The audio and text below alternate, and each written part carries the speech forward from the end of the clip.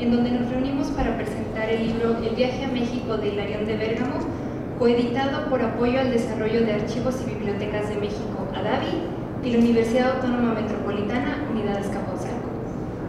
La obra que nos convoca es una narración que con amplias descripciones y bellísimas ilustraciones realizadas por el autor, nos cuenta las aventuras y peripecias de un viaje, así como el descubrimiento de un mundo totalmente nuevo para un fraile capuchino que en 1761 decidió trasladarse desde Italia hasta México con el objetivo de apoyar a su congregación como misionero.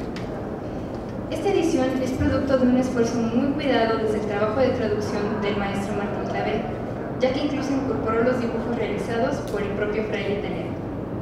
A continuación, deseamos agradecer a quienes nos acompañan en el. Al maestro Martín Clave Almeida, traductor de la obra, profesor e investigador del Departamento de Evaluación del Diseño en el Tiempo de la División de Ciencias y Artes para el Diseño de la Universidad Autónoma Metropolitana, Unidad Azcapotzalco. Un aplauso, por favor.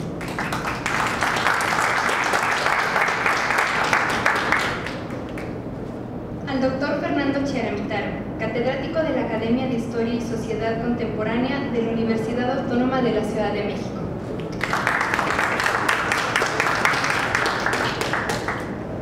A la licenciada Cristina Pérez Castillo, coordinadora de publicaciones de Adavi de México.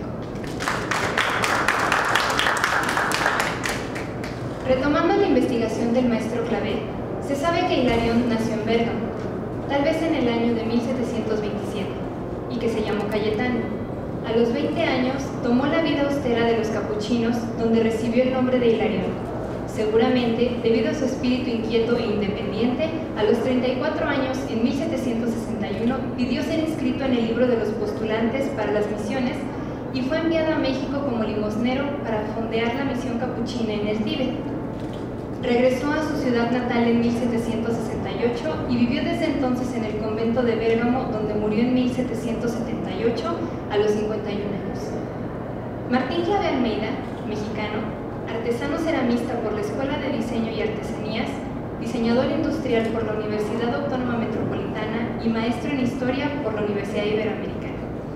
Ha desarrollado gran parte de su carrera profesional de diseño en Italia y desde 1992, que regresa a México, se dedica a la profesión en su propio despacho Spiral Design y a la docencia como profesor de la Universidad Iberoamericana, de la Escuela de Artesanías y como profesor investigador de la Universidad Autónoma Metropolitana, Unidad Azcapotzalco. Es actualmente jefe del área de Historia del Diseño en el Departamento de Evaluación en el Tiempo de dicha universidad. De abril de 1995 a septiembre de 1997, presidente del Colegio de Diseñadores Industriales y Gráficos de México, CODIGRAM, y miembro actualmente. También es miembro del ADI, Asociación para el Diseño Industrial de Italia, del BEDA, Bureau of European Designers Association, y de la SOGEM, Sociedad General de Escritores Mexicanos. Su pasión es la lectura y tiene una buena biblioteca personal. Es además investigador, historiador, escritor, prosopógrafo, malacólogo, coleccionista, fotógrafo y esmaltista. En primer término, cedo la palabra a la licenciada Cristina Pérez a que nos comparta sus impresiones.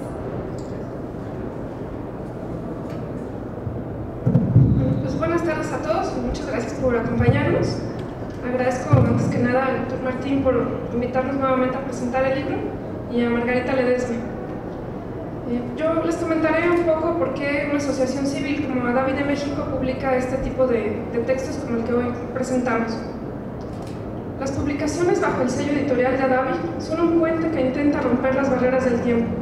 Son esas voces ocultas del pasado que abren las puertas a la luz del conocimiento, permitiendo que el valor de cada documento o libros rescatados llegue a nuevas generaciones.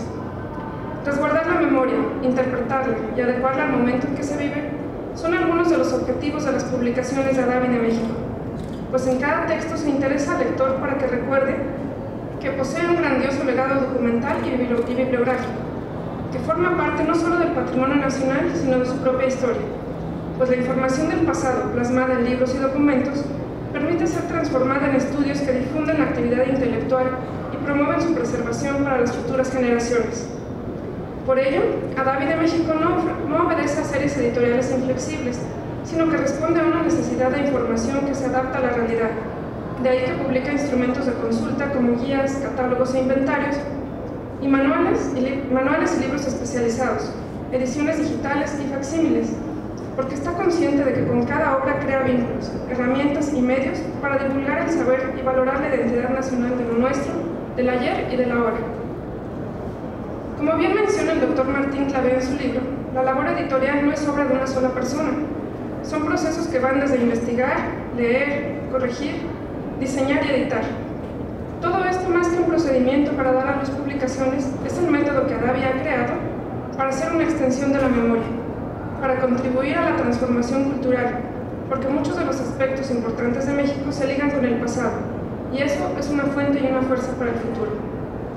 Detrás de cada texto publicado se escriben un sinfín de historias, un conjunto de esfuerzos institucionales por rescatar documentos y libros que portan memoria, enorgullecen a nuestra nación y fortalecen nuestros acervos. Y esto es lo que le da sentido a cada título que edita Davi. En su interés por contribuir en la preservación y difusión de la memoria escrita de México, en 2013, Adavi coeditó con la Universidad Autónoma Metropolitana el viaje a México de Hilarión de Bergamo, que reseña el viaje, el viaje del fraile lego italiano de 1761 a 1768 a México. La crónica del viaje transcrita por el doctor Martín, Martín Clavé, quien no solamente recorrió diversos archivos y bibliotecas para obtener información de las fuentes primarias, sino que tuvo el interés de conocer el lugar de origen del fraile para entender un poco más su visión y documentarse en la biblioteca local donde se encuentra el manuscrito. Nos pone al día de la visión de un extranjero de aquella época en tierras mexicanas. Su particular forma de describir cada faceta nos adentra no, solo en la historia y la cultura del México antiguo, sino en el detalle del modus vivendi. La presente publicación consiste en la traducción integral de la crónica del viaje, con el objetivo de contribuir al conocimiento del México de antaño para descubrir cómo el pasado continúa influyendo en nuestras vidas. Es por ello que en cada generación hay que reescribir la historia y hacerla interesante para los actuales lectores. En este título se trata de acercarlos a cada sitio recorrido, a la sensación de lo nuevo que todo viajero descubre en tierras ajenas a su patria. Incluso podría decirse que hay un acercamiento científico por la minuciosa descripción de algunas plantas y lugares geográficos, sin descartar la comparación que el fraile hace de México con Italia y otros países de Europa, como España y Grecia refiriendo desde la arquitectura, las calles, las carrozas, la manera de vestir, el lenguaje, etc., pero sobre todo el comportamiento y las costumbres de la época. En el estudio introductorio, el doctor Clavé comenta desde cómo llegó al manuscrito y cómo se suscitó su interés por este, logrando un acercamiento con el propio autor, a los aspectos generales de su vida que aportan una pauta biográfica. Reseña también aspectos importantes de la congregación de los capuchinos, el objetivo de la misión del fraile hasta abordar una detallada descripción del manuscrito, visto no solo como fuente de información, sino como un objeto de arte, escribiendo desde su encuadernación hasta las magníficas ilustraciones hechas por el fraile, de las que además de documentar su viaje, sirvieron para que quien se acercara a este diario conociera las casas, las plantas, su forma de preparación y sus usos, y su similitud, si es que la hay, con las cosechas europeas. O también nos deja ver su asombro entre las especies locales, así como el trato con las personas protagonistas de su viaje a México. Estas ilustraciones, hermosamente coloreadas por el fraile, dan un realce importante y un valor agregado a la publicación que hoy presentamos, por lo que la, por lo que la lectura de este libro invita a imaginarse uno mismo en otra época, en otra cultura, para luego volver y explicar cómo eran las cosas antes, aun cuando esto sucedió en el mismo territorio que transitamos todos los días. La sección del viaje nos conduce a un trepidante recorrido por el pasado, donde no solamente somos testigos de las peripecias del fraile para conseguir los donativos que ayudarían a su congregación, también detalla las tradiciones de los lugares por donde pasaba, la actividad principal de sustento, etc. Por último, en el, anexo se recapitula la cronología del viaje, señalando puntualmente la fecha y el lugar por donde transitó el aventurero fraile. Esta obra es de lectura realmente agradable, a la que contribuyen las numerosas ilustraciones, las notas sobre el contexto y las referencias que están presentes en la investigación. Pero el peso del análisis del traductor sin duda resulta una aportación de gran valía para la historia de México. Títulos como este son una puerta abierta para que la sociedad analice su presente a través de su pasado. Instituciones educativas como la UAM y Adavi de México contribuyen a fomentar la divulgación de estas fuentes que transmiten directamente y con certeza la información, y que comprenden nuevas aportaciones al conocimiento. Publicación da continuidad a los registros, a los registros en forma permanente para dar testimonio del rescate hecho, pero sobre todo, esperamos que el resultado de estas investigaciones ya publicadas invite a los lectores a consultar los documentos en los archivos, viéndolos no como montones de papeles olvidados, sino como testimonios que piden ser rescatados del polvo para ser escuchados. Muchas gracias.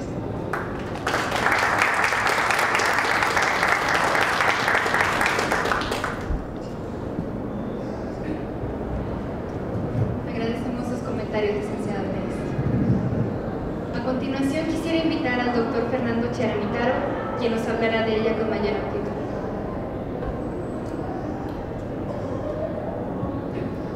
Buenas tardes.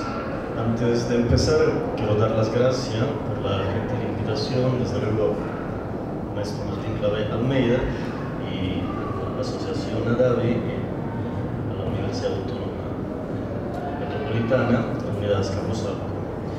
Rarísimas veces eh, se tiene el honor eh, de presentar y comentar un libro tan eh, erudito y bello como El viaje a México de Hilarión de Bergamo. Erudito porque, en términos científicos, el, la tarea paleográfica de, de, traducción y de análisis que ha realizado el maestro eh, Martín Clavet Almeida es impecable y muy puntual.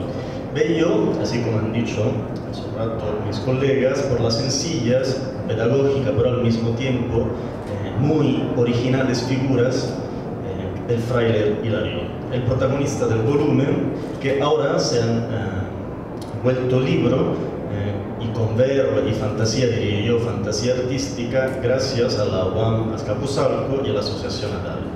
El texto, asimismo, se presta muchas oportunidades de crítica, y utilizo la palabra crítica con la acepción de la lengua alemana, o sea, como oportunidad de debate.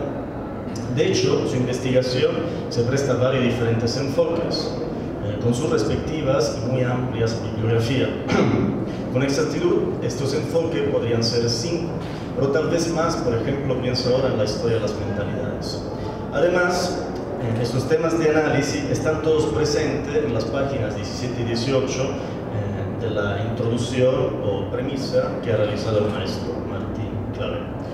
Uno es una traducción, dos es un relato de viaje, tres es un encuentro de dos culturas, la, eh, limitándome y especificando, me refiero de un lado a la milenaria historia eh, del norte de Italia y del otro al exótico, heroico y joven mundo novohispano. Cuatro es uno de los numerosos casos de migración momentánea de italianos que yo he trabajado también en otras investigaciones, ¿no? de viajes de italianos que se han realizado desde Cristóbal Colón hasta las independencias ¿no? de los territorios americanos en la primera mitad del siglo XIX. 5, finalmente, es un importante fragmento de la milenaria historia misionera, colonizadora, de evangelización y de apostolado de los hermanos franciscanos. Miles de hijos del mínimo Francesco de San Francisco que viajaron a América desde la California hasta la Tierra del Fuego, desde Brasil a las reducciones de Paraguay, y eh, eh, que mm, llevaban el mensaje eh, del santo, ¿no? pace y bene, paz y bien. Pues paz y bien que ellos quisieron llevar a todos y hacer a todos. Y sin algo fallaron, pues tenemos que considerar que de todas formas fueron seres humanos con todas sus limitaciones. Desde, quiero recordar, por ejemplo, otros franciscanos como Martín de Valencia, jefe de los primeros 12 franciscanos que llegaron a tierras americanas. O, por ejemplo, eh, el caso del italiano Marcos de Niza, que figura que ha estudiado y que ha viajado antes en Perú y después en la Nueva España, desde la Ciudad de México hasta los territorios que ahora corresponden al sur de Estados Unidos, como Colorado, Texas, un explorador y al mismo tiempo un evangelizador y conquistador. Quiero también eh, recordar a Fray Luis Bolaños, el fundador de las reducciones de Paraguay, otro colega de, de Hilarión de Bergamo.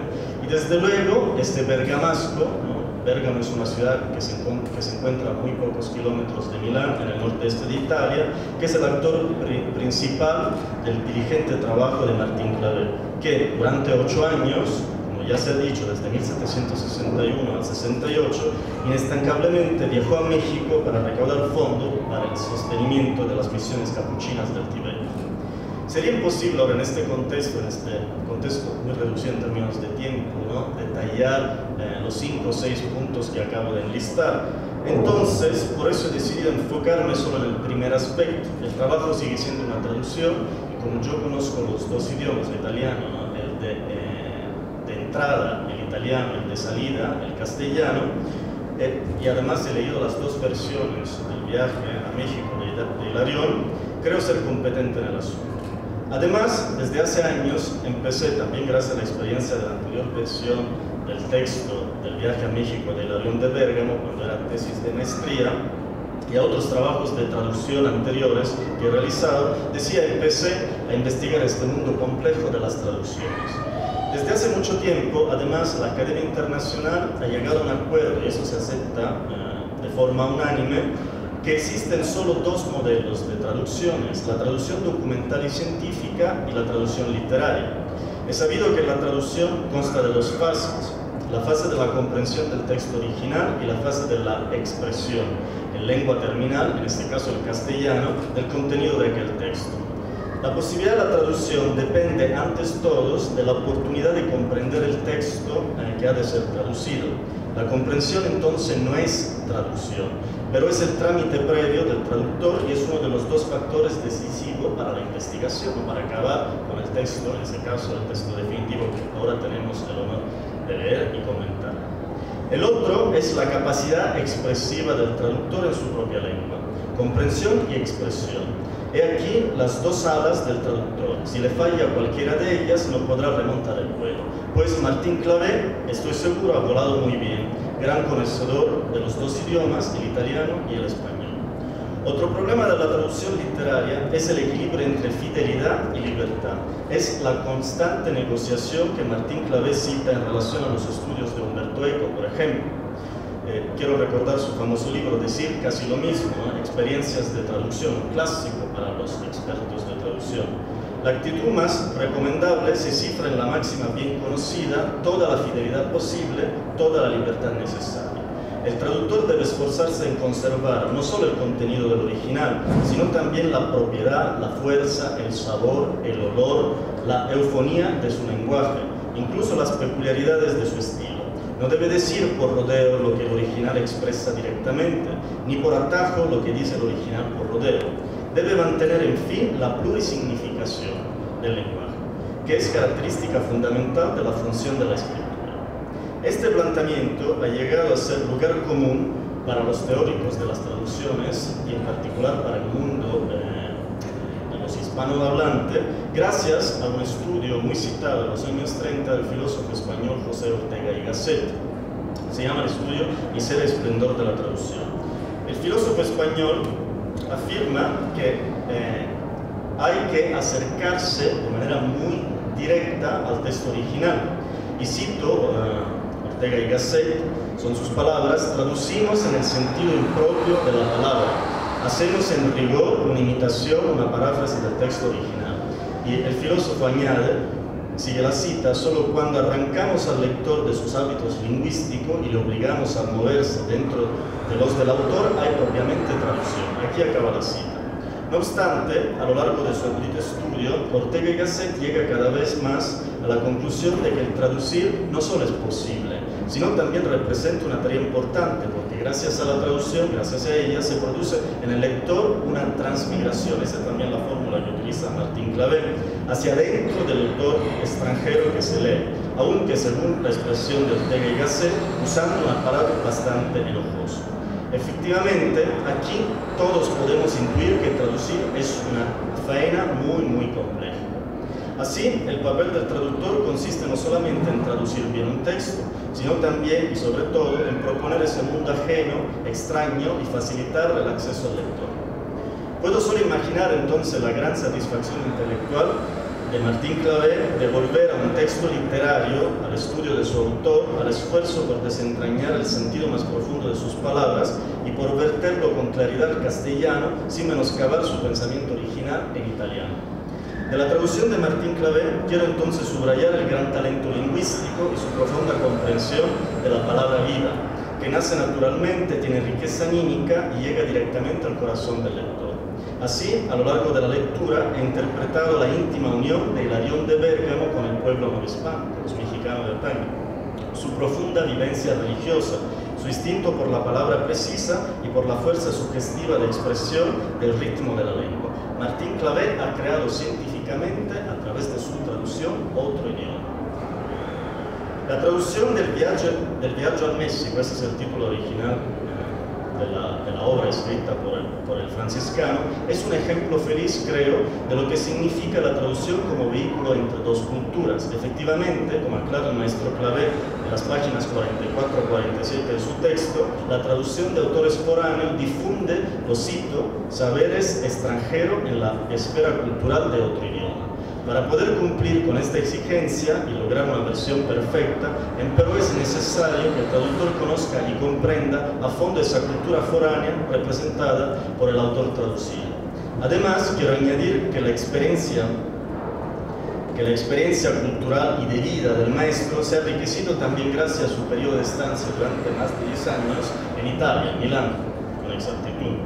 Para tal objeto, el traductor en ningún caso puede ser una persona estrictamente unilingüe, es decir, que domina la perfección solo uno de los dos idiomas, el de entrada o de salida. Él tiene que conocer los dos idiomas. Entonces, tiene que ser una persona bilingüe. Conoce pues los dos idiomas, siempre en todo momento los ha escuchado y los habla indistintamente desde la niñez o la adolescencia. En cierto modo es un intérprete por naturaleza.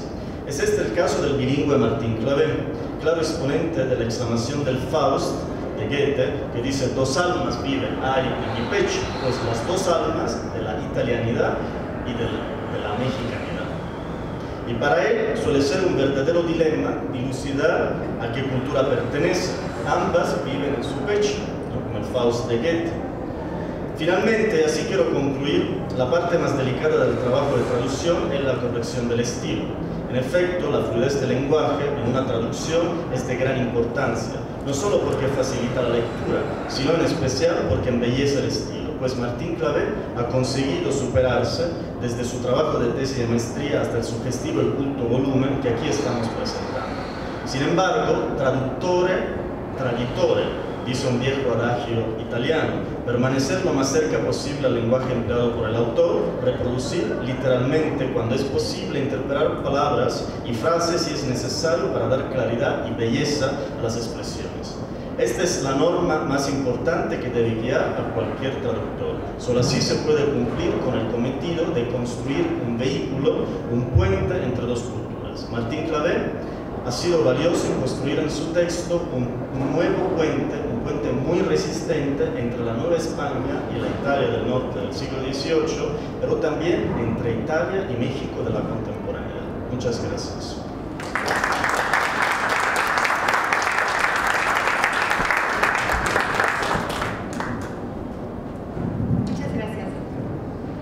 Finalmente, convido al maestro Martín Clavé, traductor de la obra, que nos dirigiremos palabras.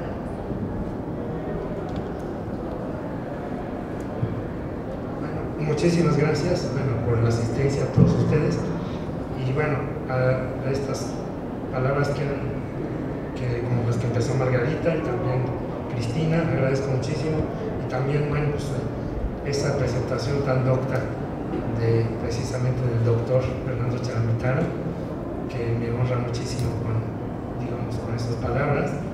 Realmente debo decir que hacer esta traducción fue muy muy agradable. Yo este libro lo encontré en la biblioteca es una biblioteca cívica. Ya una vez había una mujer interesante que se llamaba eh, Amalia, Eulalia Guzmán, que pagó la Secretaría de Educación un viaje y estuvo pues, allá en Europa buscando textos sobre México y conoció muchos textos y ella menciona este libro, pero nunca lo vio. De hecho, ella dice que fue un viaje que hizo a Filipinas y a otros lados. Eso no es cierto. Ella no pudo, no supo, o sea, no, no tuvo en sus manos el volumen, pero sí lo menciona. Es la única mención que había digamos, en México sobre, sobre tal libro. Luego nadie lo había visto. Yo por casualidad me lo señaló el director de la biblioteca y desde entonces me interesó. El fraile es sumamente simpático, Hilarión, porque es fraile, bueno, hay que conocer también la ciudad de donde, de donde es originario. Bérgamo es una ciudad muy importante, digamos cerca de Milán, está entre Milán y Venecia. Los bergamascos siempre han sido muy famosos por ser buenos albañiles. Entonces, tienen mucha manualidad, muy buenos pintores este, en, la, provincia de Bergamasca, dio muy, buenísimos pintores.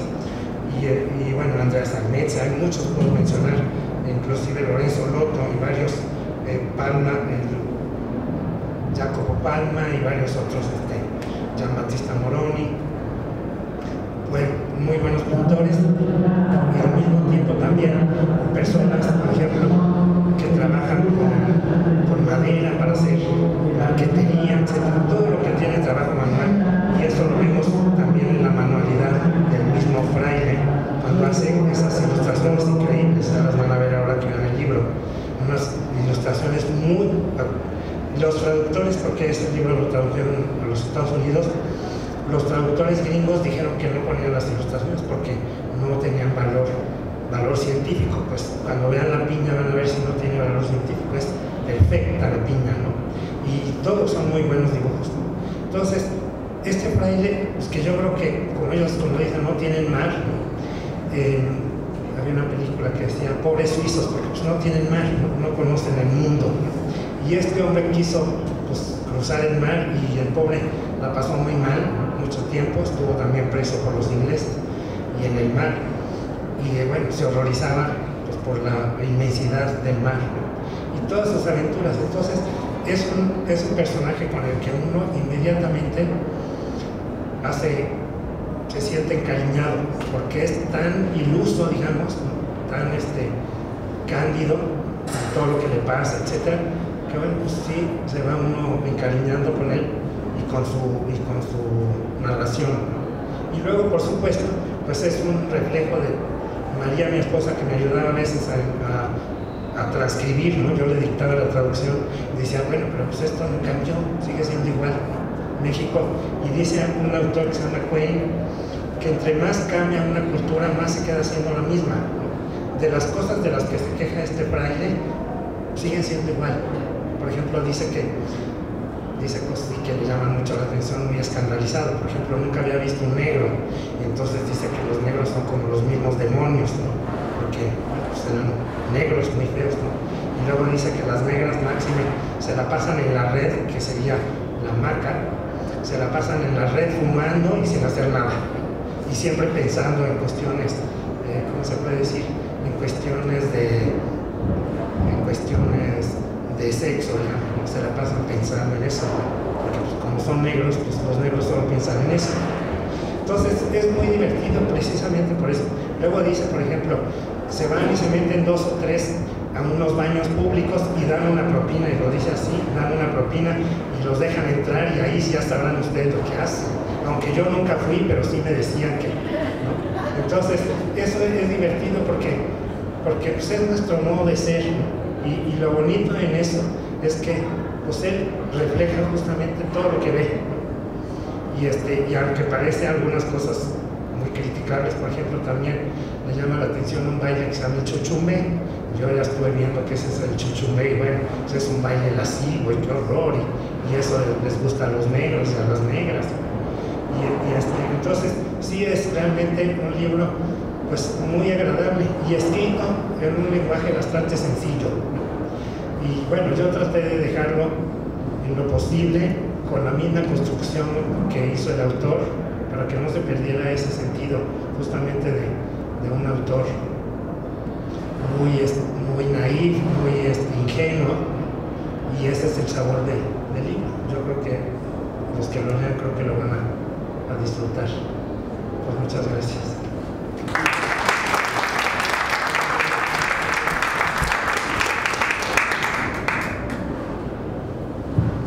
Muchas gracias, maestro Clavel. Queremos hacer un agradecimiento público a las autoridades de apoyo al desarrollo de archivos y bibliotecas de México, ADAVI, por su colaboración en la realización de esta obra. En los minutos que nos restan, nos gustaría abrir un espacio para preguntas de los asistentes. ¿Alguien desea comentar algo con los integrantes del presidio?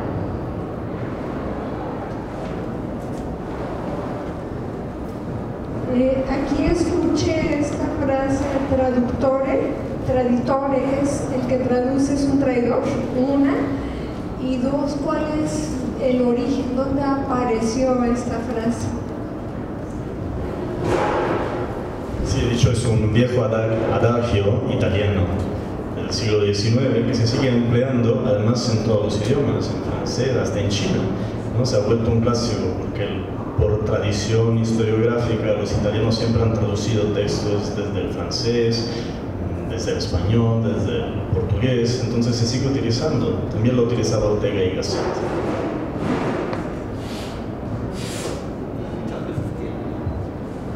¿Alguien más?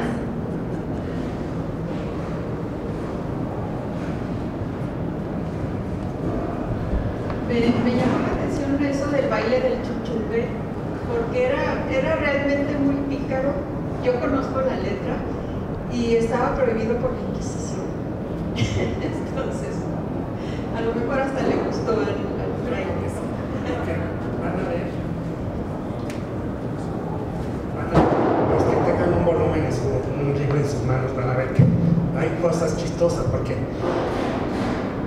por ejemplo, él hace unos dibujos muy buenos, realmente, de veras, algunos muy científicos por ejemplo, el chayote es impresionante porque yo no sé si es problema mío, a ver si me permites, no si es un problema mío o si es demasiado obvio lo que yo veo, pero probablemente yo esté mal, tenga la, la, como dicen, la mente cochambrosa, pero, pero van a ver ustedes los, los dibujos que hace el del, del chayote. Entonces, no sé si son un poco sus fantasías o no sé, pero yo digo, cada quien juzgue, dice, dice mi secretaria, lo que se ve no se juzga. Entonces, pues yo digo, es como, ahí hay algo subliminal, no sé cómo. Este, yo creo que, sí, yo creo que era también pues, una fantasía de él, ¿no? Probablemente porque él no tenía pues esperanza de divertirse o de bailar el chuchumbe, porque parecía una cosa terrible debe haber sido, yo creo que era un bonachón. De hecho, hay que aclarar que él nunca profesó, nunca quiso ser, nunca, quiso ser sacerdote. Y eso le valió la libertad. Era nada más hermano lego que se llama, o hermano lego o laico. Es decir, no era, nunca tuvo que dar misa ni nada porque no era sacerdote. Entonces, eso también le valió para que pudiera librarse. Por ejemplo, él decía que me invitaban a los conventos, y no, no, no, yo me pago una casa, no me den de comer, y una señora le lave la ropa, etc. Entonces, pues tenía esa libertad, siempre tuvo la libertad de... Y, por ejemplo, vivió con una familia, y luego dice que cuando él se fue todos lloraron, etc. y se abrazaron, inclusive creo que le escribieron después. O sea, que sí era, yo creo que muy bonachón en ese sentido. Digo, muy escandalizado, pero pues es lógico era un fraile pues, escandalizada. Porque sí, en México sí somos un, pueblo pues, un poco irreverente.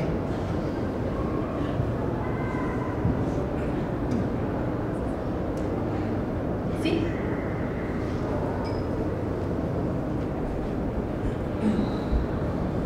Gracias. De antemano, felicidades. Quisiera yo preguntar, ¿cuándo inicia este viaje? ¿Cuándo lo termina?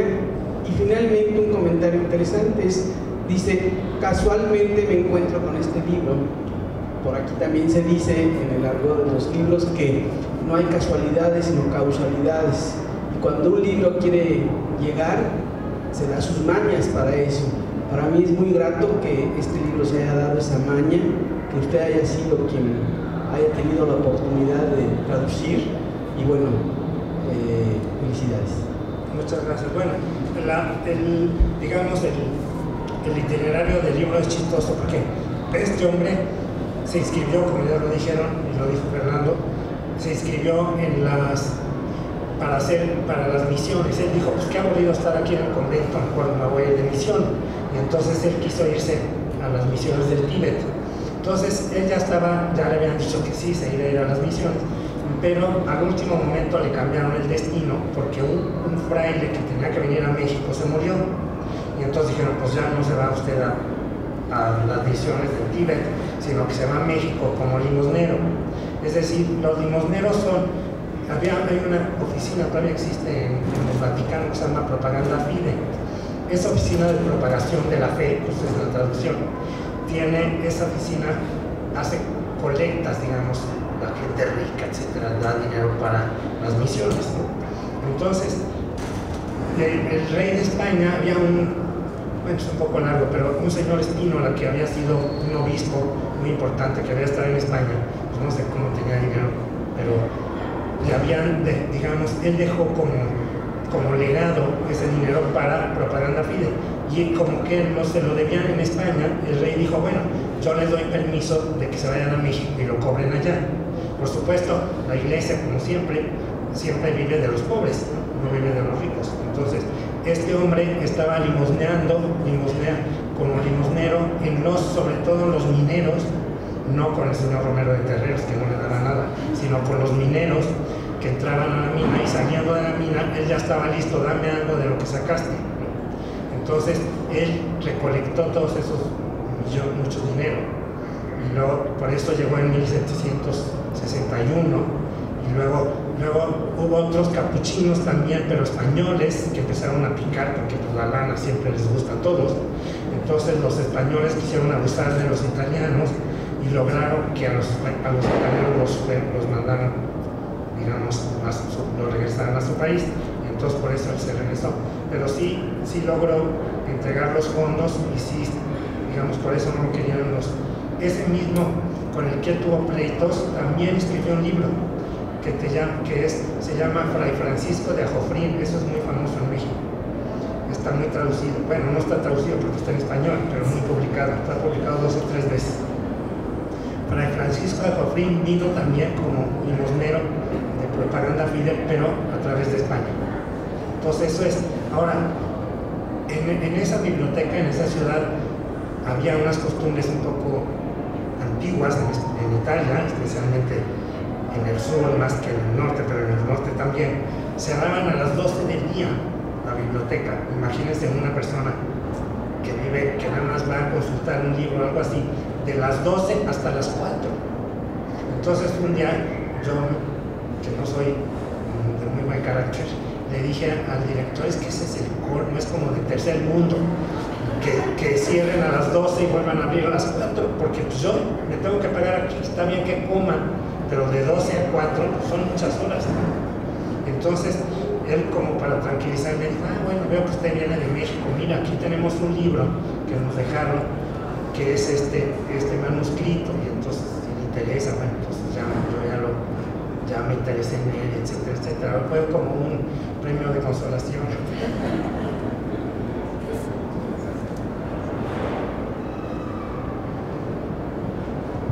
¿Alguien más? Estamos seguros de que así como los participantes de esta mesa nos han acercado su experiencia con el viaje a México de Hilarión de Bérgamo, todos ustedes se acercarán también a dar un vistazo al México de 1700 a través de una mirada extranjera llena de curiosidad y asombro por una cultura tan rica y llena de matices como lo es la mexicana. El libro está a la venta en este momento y seguirá disponible en el stand de la UAM, aquí saliendo el reloj, y después de la feria en los espacios de distribución UAM y librerías comerciales. Gracias por acompañarnos.